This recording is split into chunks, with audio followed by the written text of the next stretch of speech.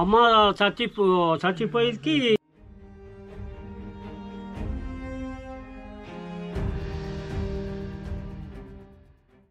Hi అండి. ఈరోజు ఒక గ్రామంలో వెళ్ళబోతున్నాము. పోసలగారు గ్రామం ఓల్డా పంచాయతీ హుక్కుంపేట మండలం.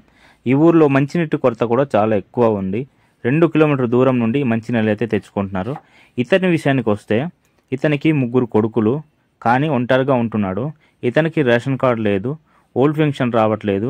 ఈ వీడియోని అధికారుల వరకు చేరే వరకు షేర్ చేయండి. ఈ వీడియోని లైక్ చేసి ఏం జరిగిందో ఈయన మాటల్లోనే వినండి. ఇది గూంటం చేద్దామని మొన్న చోట్లు కొడితే ఈయన కటు ఆ, ఉండిపోయింది ఓహో. ఏంటి సోలు కొట్టడానికి అది? కొట్టడానికి మరి మరి. సోలు కొట్టడానికి తయారు చేస్తాంతివా? ఆ? సోలు కొట్టడానికి తయారు చేస్తాంతివా? అవునవును.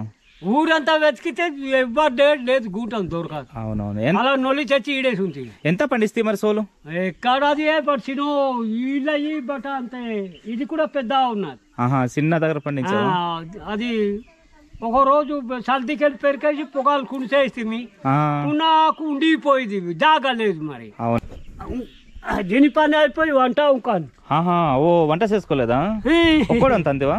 ఒక్కోడే మరి కేటింగ్ అయిపోతుంది ఆ, ఓ. ఏది ఏది ఎక్కడ ఉంటున్నావు నాన్న? ఎక్కడ ఉన్నావు? అది. ఇక్కడేవా? ఇక్కడ ఉంటున్నావు నాన్న.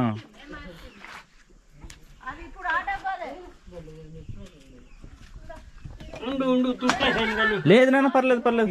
ఇదంతా బుర్రున అవునవును. ఇటు వచ్చేసింది.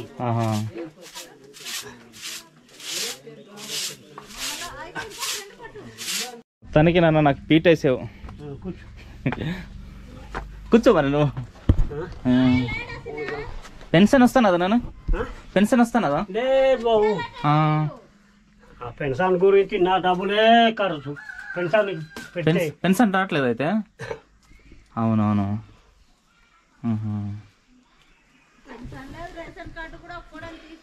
రేషన్ కార్డు కూడా లేదా నాన్న? రేషన్ కార్డు లేదా? రేషన్ కూడా లేదు. మరి ఏందక ఇవ్వట్లేదు రేషన్ కార్డు? నాకట పది ఎకరాలు ఇరవై ఆరు సెంట్లు భూమి ఉన్నదట. మరి ఉన్నదా నాన్న? భూమి ఉందా? అడుగు.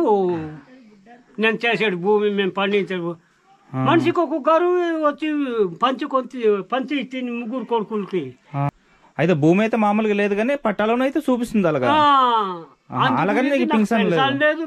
డబ్బులు బియ్యం లేదు పిడి బియ్యం లేదు. అమ్మో మరి ఎలా నాన్న నువ్వు తినడం మరి ఎవరి పని అంటే అక్కడ కూలి వెళ్ళడం రూపాయి డబ్బులు తెచ్చుకోవడం అడుగు లేకపోతే అబద్ధం అవునవునా ఆహా. అలా, అలా. ఎవరైనా పనికి పిలిస్తే పనికి వెళ్ళేసి ఆ. అలా తెచ్చి తినడమేనా అవునవునా. మరి ఏంటి నా దశ ఏంటో నేను పాపకారి వాడు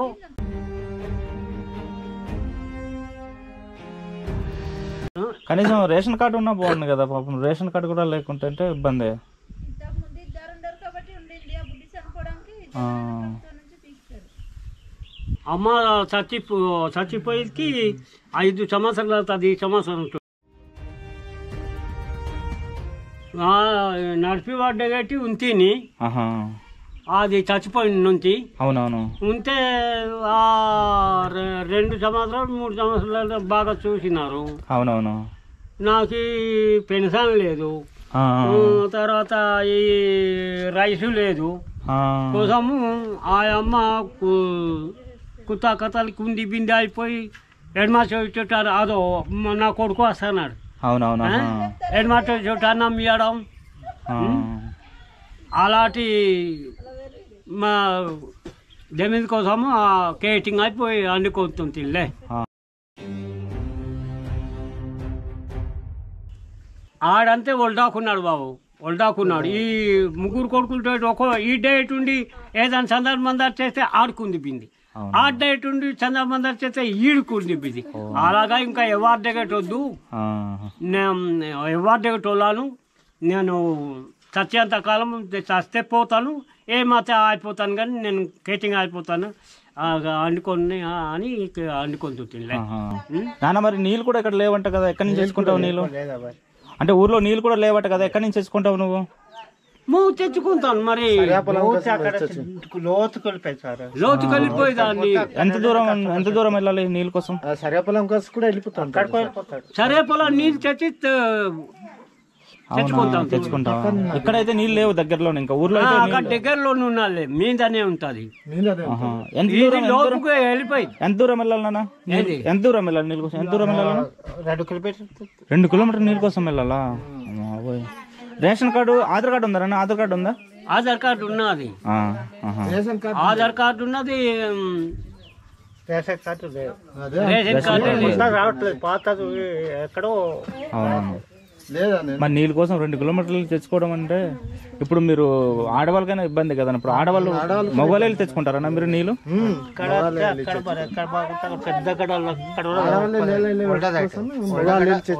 మొగలు కూడా వెళ్ళి తెచ్చుకోవాలి. అదే కావడిగా కట్టేసి చూస్తే నేను కావడి మోసుకొని వస్తున్నాను ఓకే ఓకే. ఈవిడే మన పల్కాం నెలకి ఎంఆర్ఓ ఆఫీస్కి వెళ్తేని. అవునవునా. వెళ్ళి వెళ్ళి అక్కడ కూడా ఇప్పుడు ముంచం ఫుడ్ ఉన్నది కదా కొడుకు చదువుతాలి అక్కడ మా తమ్ముడు ఉన్నాడు. ఆ. ఆడి చేతవే రాయించి పే- ఆపొద్దు పాడేరుకి వెళ్దాము అనగా నేను లచ్చివారం వెళ్తిని. శుక్రవారము కాంతం పెడదాము కలర్సుకి అని చెప్పినాడు. నా అదృష్టం ఎలాగో అక్కడ వెళ్ళకుండా ఈ మండల ఆఫీస్కే మీటింగ్ అయింది. Collector meeting. అవునవునా. అక్కడ కూడా పెన్షన్ కోసం ఆడి చేత రాయించి అక్కడ కూడా ఇస్తే. ఆయనకన్నా అవ్వలేదు?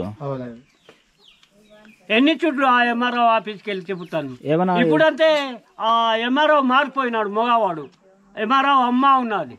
ఆ అమ్మ కూడా చెప్పి తిని.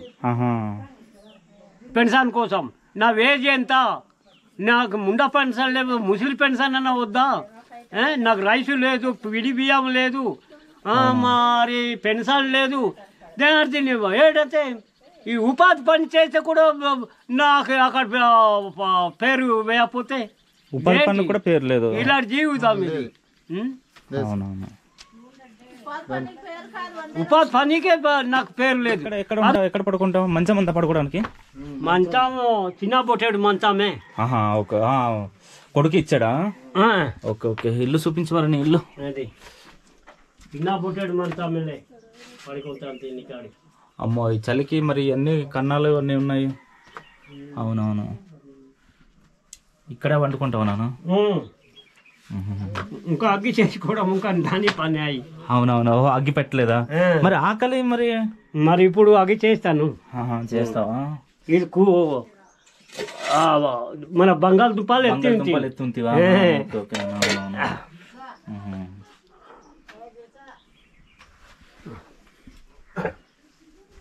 ఇది ఏటి పెట్టుకుంటావు నాన్న ఇక్కడ? ఇది ఏటి పెట్టుకుంటావు మరి? మరి ఒక్కడే ఉంటున్నారు కదా అందుకని ఈ రకంగా ఉంచుకున్నారు అనమాట చూడండి. ఏం లేదయ్యా. ఈ మంచం అయితే ఇక్కడ ఉంది. అవునవును. అవునాను అవునవును. కూలీ నాలి సరే పొలం ఎక్కడ? సరే పొలంకి కో గుంపుకి ఆకు తింటకి ఆ, గడ్- గట్లు కాడ అక్కడ అక్కడి పనికి వెళ్ళి ఆ, ఆ పండి వస్తే అప్పుడు ఇస్తారు. అవునవును? మా అమ్మ ఉన్నా అప్పుడు ఉన్నప్పుడు ఇద్దరు కలిసి వెళ్ళేవాళ్ళు అవును. ఉమ్.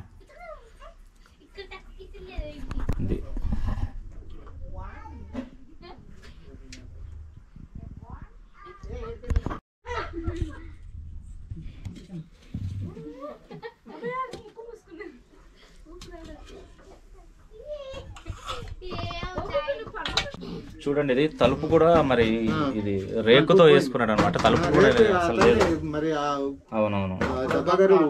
చేసి ఇచ్చారు. ఇది అసలు చలిలో మరి ఎలాగ ఉంటున్నాడు చాలా ఎక్కువ చలి కూడా ఉంది. చలిలో ఎలాగ ఉంటున్నాడు మరి తెలియదు కానీ మంట పెట్టుకుంటూ ఉంటాడు. ఎక్కువ ఇతనికి హెల్ప్ చేయాలంటే అధికారులకు ఈ వీడియోని షేర్ చేయండి. అలాగే ఈ వీడియో కింద కామెంట్ పెట్టండి మీరు ఎక్కడి నుంచి చూస్తున్నారు? Okay thank you